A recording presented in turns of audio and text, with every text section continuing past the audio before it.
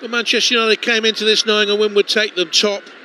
Tottenham needed to stop their run of six defeats in a row in the WSL. Manchester United have most of possession in the first half and the better chances. Leah Galton shooting over. Out by Zelem Russo with a little touch. This is a fine ball that sent Galton away, and with her pace, she got there ahead of Zadorsky but fired over.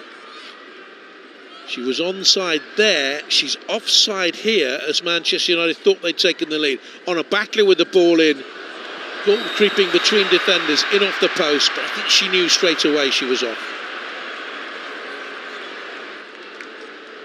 It is tight, and she just leans forward.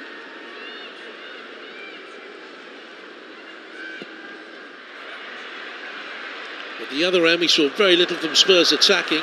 But this is a fine pass by Ashleigh Neville to put Beth England through a well-timed run. And you would bank on her hitting the target.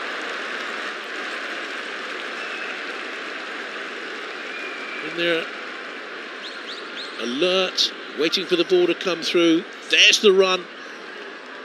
Neville with the vision. No execution.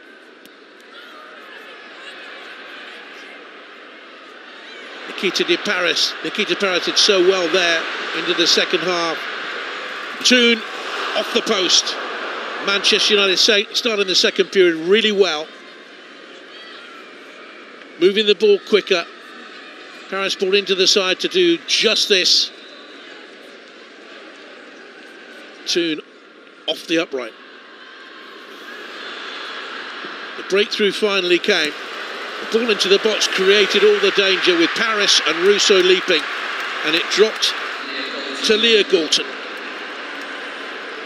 Intelligent run by Backlow was strong all game long. The two forwards did their business. Tottenham left one to jump with two, and they were ball watching as it drops here to Galton.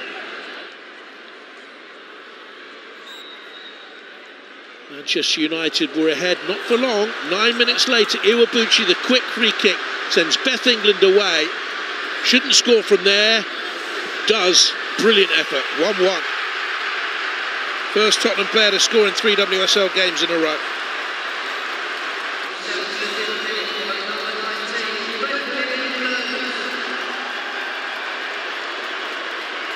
First Tottenham player to score in three WSL games in a row and lose them all. Was a fine finish. So powerful as a runner, so determined and focused. She knows what she wants to do. Step inside, bang. A minute and 21 seconds later, though, Manchester United were back ahead. Zelem with the ball. This is a good run from the substitute with Thea Garcia. And Molly Bartrip thinking perhaps that Amy Turner behind her was a Manchester United player, absolutely lashed it beyond Korpela. It's the only thing I can think about. Loser bearings, knows Galton is in there somewhere. Make sure she gets there first, but goodness me, what a horrible own goal. This was the moment that jeopardised Manchester United's lead.